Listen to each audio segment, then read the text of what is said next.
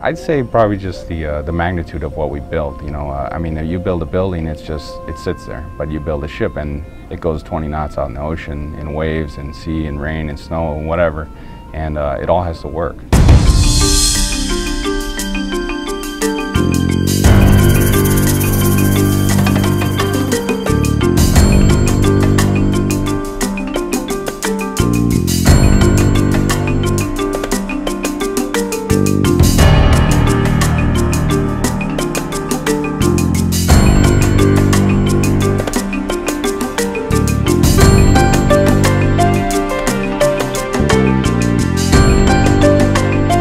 Shipyard's located in San Diego, California. It's on about 85 acres of property. Um, we employ probably the best shipbuilders in the United States. Uh, without a doubt, the highest skilled and hardest working. Very proud of them uh, and look forward to building many, many, many ships for the United States government and for commercial shipbuilders around the world. When I first came to work here, my first week, I got to paint the bottom of a ship.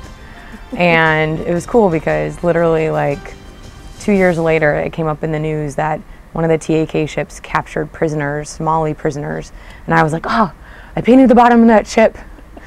My effort helped. I love it. Every day I come into work, it's, uh, it's the most rewarding job you could have, is to see a ship being built right in front of your eyes. The best thing about this yard that I think is the benefits. We get real good benefits. The pay is good and um, you always have a steady job. We work well together. You get to know a lot of people. I've made a lot of friends here. A lot of great people here. And I came over here to NASSCO 20 years ago, and I started off as a rigger here for about two years, and then I got the chance, the opportunity to come up in the cranes. I've been here since.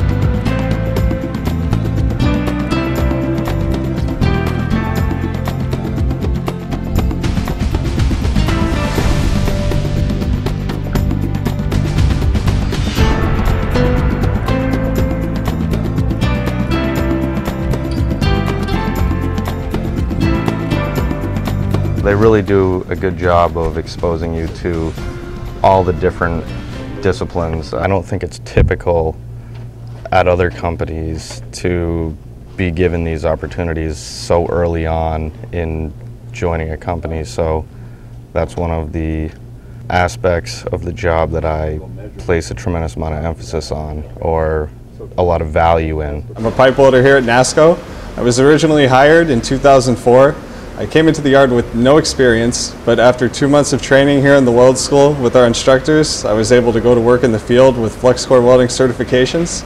After about four years working in structure, I returned to the weld school. I learned TIG welding on stainless and copper nickel, and now I'm a journeyman pipe welder out in SOC 4. NASSCO offers a lot of uh, on-the-job training as well as uh, outside training, so the opportunities are there. I started as a, in the professional development program here at NASSCO, and it's a program to bring people right out of school up into the in, into the shipbuilding industry and uh, learning different aspects of the shipyard. Working with a blue collar worker and working with a white collar worker has just been a, a, a, tremendous advantage for me.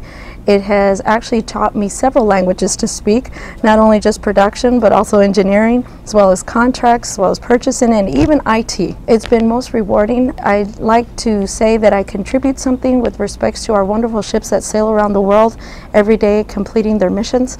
My favorite thing about working at NASSCO, besides the red hat is being able to come in here every day, know that I'm doing something productive, and knowing that I'm going to be able to provide for my family while I do that.